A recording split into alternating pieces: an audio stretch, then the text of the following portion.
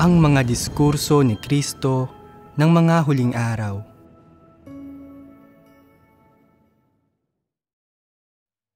Mga salita sa pagkilala sa gawain at disposisyon ng Diyos. CP Ang mga nilalaman ng ang salita ay nagpapakita sa katawang tao ay napakayaman. Kinabibilangan ito ng iba't ibang aspekto ng katotohanan, gayon din ng ilang pahayag na nagpo-propesiya. Ipinopropesiya ang magiging kalagayan sa mga paparating na kapanahunan. Sa katunayan, ang mga propesiya ay masyadong pangkalahatan ang karamihan sa mga nilalamang salita ng aklat na ito ay tinatalakay ang pagpasok sa buhay, inilalantad ang kalikasan ng tao, at sinasabi kung paano makikilala ang Diyos at ang kanyang disposisyon. At tungkol naman sa kung anong kapanahunan ang darating, kung ilang kapanahunan ang mayroon, kung ano-anong uri ng mga pangyayari ang papasukin ng sangkatauhan. Hindi ba totoo na walang partikular na plano, partikular na pagbabatayan, o kahit man lang partikular na kapanahunan sa aklat na ito? Masasabing hindi na kailangang mag-alala pa ang mga tao sa mga kapanahunang darating. Hindi pa nararating ang kapanahunang iyon at napakalayo pa niyon. Kahit nasabihin ko pa sa inyo ang tungkol sa mga bagay na ito, hindi ninyo ito mauunawaan at dagdag pa roon, hindi kailangang maunawaan ng mga tao ang mga bagay na ito sa ngayon. Maliit lang ang kaugnayan ng mga bagay na iyon sa pagbabago ng buhay disposisyon ng mga tao. Ang kailangan lang ninyong maunawaan ay ang mga salita na naglalantad sa kalikasan ng tao. Sapat na iyon. Noon, may ilang propesiya ang ipinahayag, kagaya ng ang milenyong kaharian, ang magkasamang pagpasok ng Diyos at ng tao sa kapahingahan, at pati na rin ang tungkol sa kapanahunan ng salita ang mga salitang nagpopropesiya ay may kaugnayang lahat sa mga kapanahunang malapit ng dumating. Ang mga hindi nabanggit ay ang mga bagay na napakalayo pa. Hindi ninyo kailangang pag-aralan ang mga bagay na iyon na napakalayo pa. Ang hindi ninyo dapat malaman ay hindi sasabihin sa inyo. Ang dapat ninyong malaman ay ang buong katotohanan na nagmumula sa Diyos Halimbawa ay ang disposisyon ng Diyos na ipinahahayag sa tao kung ano ang mayroon at kung ano ang Diyos na inihahayag ng mga salita ng Diyos at ang paglalantad sa kalikasan ng tao sa pamamagitan ng paghatol at pagkastigo, gayon din ang direksyon sa buhay na ibinigay ng Diyos sa mga tao sapagkat kabilang ang mga bagay na ito sa kaibuturan ng gawaing pagliligtas ng Diyos sa mga tao. Ang layunin ng Diyos sa pagsasabi sa mga bagay na ito kapag ginagawa ang gawain ng pamamahala sa sangkatauhan ay pangunahing para lupigin at iligtas ang mga tao at para baguhin ang disposisyon ng mga tao. Sa kasalukuyan, ang kapanahunan ng salita ay isang makatotohanang kapanahunan. Ang kapanahunan ng katotohanan na lumulupig at nagliligtas sa tao. Mas marami pang mga salita kalaunan. Napakarami pang hindi nasasabi. Iniisip ng ilang tao na ang mga salitang ito sa kasalukuyan ay ang kabuuan na ng pagpapahayag ng Diyos. Ito ay isang labis na maling interpretasyon sapagkat ang gawain ng kapanahunan ng salita ay kasisimula pa lamang sa China. Ngunit magkakaroon pa ng mas maraming salita pagkatapos na hayagang magpakita at gumawa ang Diyos sa hinaharap. Kung magiging ano ang kapanahunan ng kaharian, kung anong uri ng destinasyon ang papasukin ng sangkatauhan, kung ano ang mangyayari pagkatapos pumasok sa destinasyong iyon, kung paano ang magiging buhay ng sangkatauhan pagkatapos noon. Kung anong antas ang maaabot ng likas na gawin ng tao. Kung anong uri ng pamumuno at anong uri ng panustos ang kakailanganin at iba pa. Ang lahat ng ito ay kabilang sa gawain ng kapanahunan ng salita. Ang pagsasaklaw ng Diyos sa lahat ay hindi kagaya ng iniisip mo lamang sa ang salita ay nagpapakita sa katawang tao. Maaari bang kasing simple lang ng iniisip mo ang pagpapahayag ng disposisyon ng Diyos at ang gawain ng Diyos?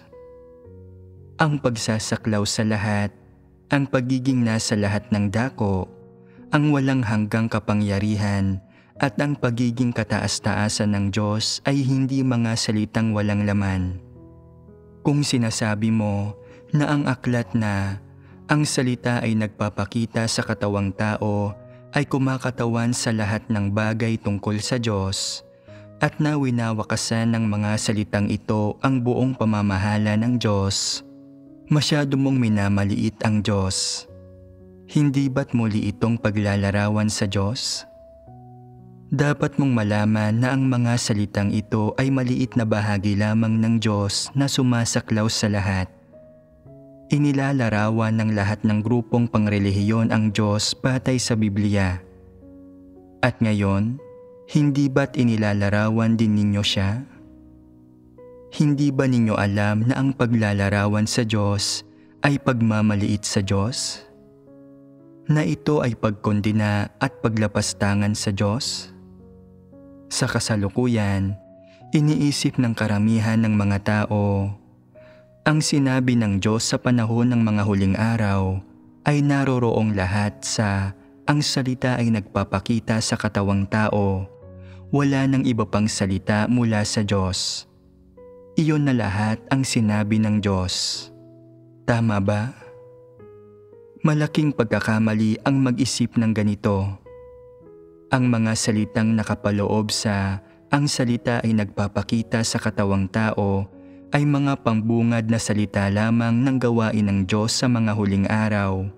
Bahagi lamang ng mga salita sa gawaing ito.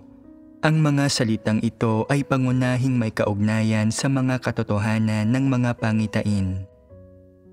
Kalaunan ay magkakaroon din ng mga salitang binibigkas na may kinalaman sa mga detalye ng pagsasagawa. Sa makatuwid, ang pagsasapubliko sa ang salita ay nagpapakita sa katawang tao ay hindi nangangahulugan na nagwawakas na ang isang yugto ng gawain ng Diyos. Lalong hindi ito nangangahulugan na ang gawain ng paghatol ng Diyos sa mga huling araw ay nakarating na sa katapus-tapusan. Marami pang salita na ipahahayag ang Diyos at maging pagkatapos mabigkas ang mga salitang ito, hindi pa rin masasabi ni Numan na nagtapos na ang buong gawain ng pamamahala ng Diyos. Kapag natapos na ang gawain ng buong sansinukob, masasabi lamang ng isang tao na natapos na ang anim na libong taong plano ng pamamahala ng Diyos. Ngunit sa panahong ito, may mga tao pa kayang umiiral sa sansinukob na ito? Hanggat umiiral ang buhay, hanggat umiiral ang sangkatauhan, ang pamamahala ng Diyos ay dapat na nagpapatuloy pa rin Kapag natapos na ang anim na libong taong plano ng pamamahala, hanggat umiiral pa rin ang sangkatauhan, ang buhay at ang sansinukob na ito, pamamahalaan pa rin itong lahat ng Diyos, ngunit hindi na ito tatawaging anim na libong taong plano ng pamamahala. Tatawagin na ito ngayong pamamahala ng Diyos. Marahil ay tatawagin ito sa ibang pangalan sa hinaharap magiging panibagong buhay iyon para sa sangkatauhan at sa Diyos. Hindi maaaring sabihin na gagamitin pa rin ng Diyos ang mga salita sa kasalukuyan para pamunuan ang mga tao sapagkat ang mga salitang ito ay angkop lamang para sa yugto ng panahong ito.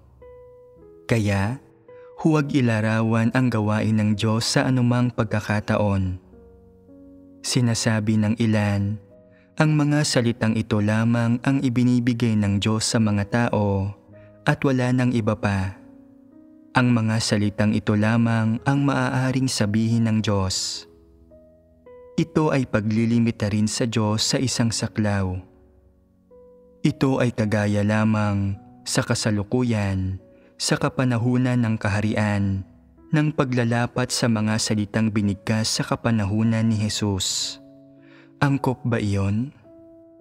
Ang ilan sa mga salita ay mailalapat at ang ilan ay kailangang buwagin kaya hindi mo masasabi na ang mga salita ng Diyos ay hindi kailanman mabubuwag. Kaagad bang inilalarawan ng mga tao ang mga bagay-bagay? Sa ilang dako, inilalarawan nga nila ang Diyos.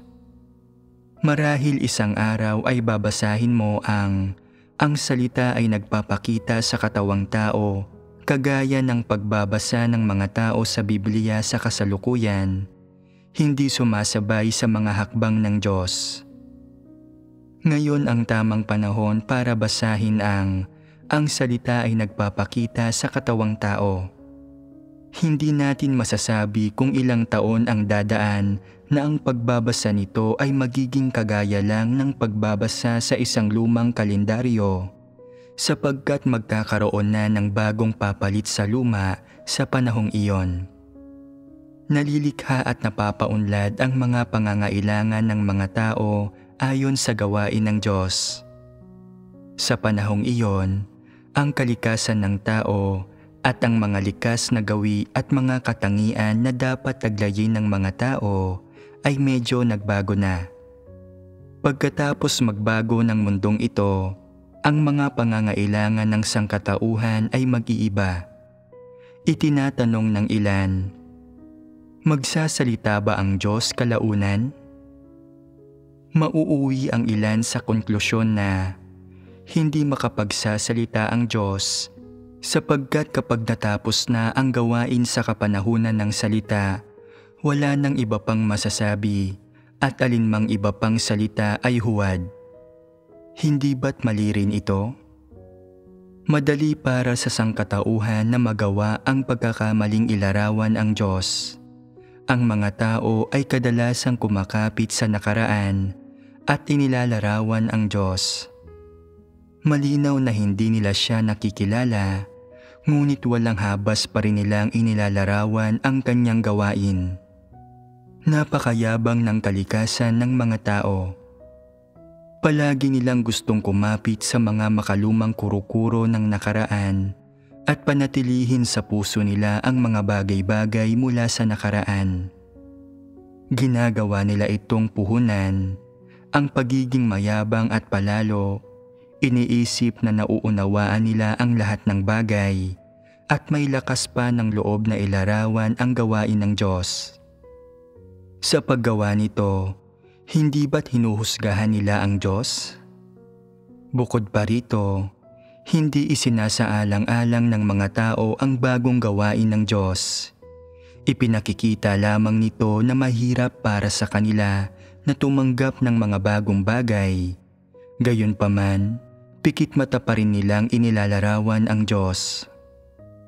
Napakayabang ng mga tao na wala na sila sa katwiran, wala silang pinakikinggan at ni hindi nila tinatanggap ang mga salita ng Diyos. Gayon ang kalikasan ng tao.